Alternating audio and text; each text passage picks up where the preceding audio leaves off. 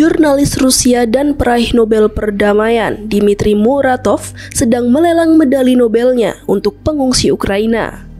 Dia mengaku putus asa dengan pemberantasan media independen di Rusia, di mana menurutnya semakin sedikit orang yang mendukung kampanye militer di Moskwa.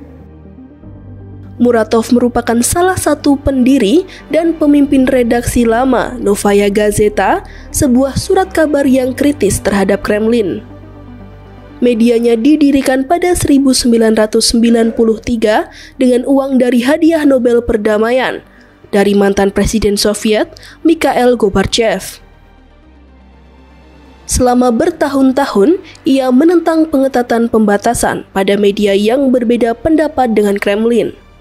Pada Maret lalu, media independen tersebut akhirnya harus menangguhkan aktivitas online dan cetaknya setelah melaporkan tentang konflik dan penyimpangan dari garis pemerintah Rusia menjadi sebuah kejahatan dengan ancaman hukuman 15 tahun penjara.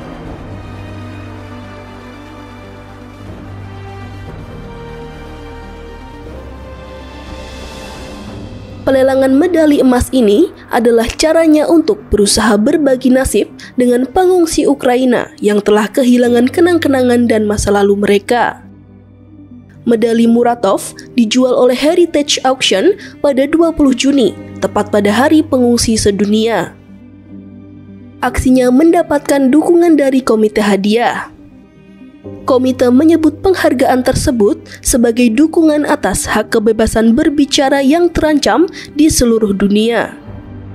Muratov mengatakan mereka percaya bahwa perubahan dapat terjadi di Rusia sebagai akibat dari perpecahan elit adalah keliru. Lebih lanjut lagi, orang-orang yang berkuasa tidak punya tempat untuk pergi.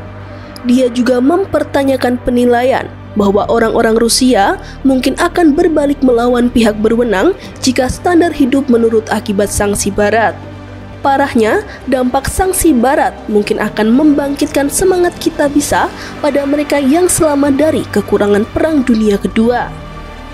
Ditanya seberapa banyak dia mengharapkan medali itu terjual, Mutarov mengatakan dia telah mendengar perkiraan 2 juta dolar Amerika Serikat atau lebih, tetapi tidak tahu sama sekali kepastiannya.